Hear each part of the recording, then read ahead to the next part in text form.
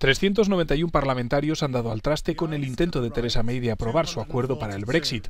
Solo 242 lo han apoyado. La primera ministra británica hizo un viaje relámpago a Estrasburgo para conseguir modificaciones que convencieran a los brexiters más recalcitrantes, pero no le ha servido. Si bien no ha sido una derrota como la que encajó en enero, los analistas dan por hecho que ha perdido el control del proceso de salida y que una moción de censura no es descartable. La Cámara de los Comunes votará el miércoles si quiere salir de la UE sin acuerdo. Seamos claros, votar en contra de irse sin acuerdo o a favor de una extensión no resuelve los problemas a los que nos enfrentamos. La Unión Europea querrá saber qué uso queremos darle a esta extensión. Esta Cámara tendrá que responder a esa pregunta. ¿Debe revocar el artículo 50? ¿Quiere celebrar un segundo referéndum?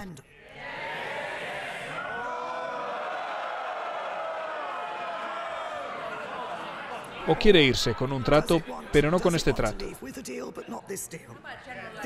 Estas son elecciones poco envidiables, pero debido a la decisión que ha tomado la Cámara esta noche, ahora deben ser confrontadas.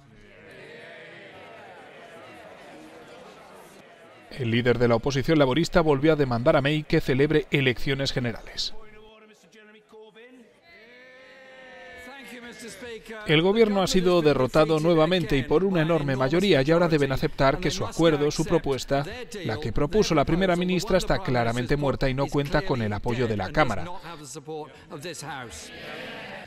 La primera ministra ha ido contra reloj y el reloj se ha agotado. Tal vez sea hora de que tengamos elecciones generales y la gente pueda elegir quién debería estar en el gobierno. El camino para el Ejecutivo británico, que ha prometido implementar cualquiera que sea la decisión del Parlamento, no será fácil, incluso si consigue una extensión del artículo 50, una opción que el Parlamento podría votar el jueves. Este debe ser aprobado por unanimidad por todos los miembros de la UE y las posibilidades de renegociar un acuerdo con Bruselas son mínimas.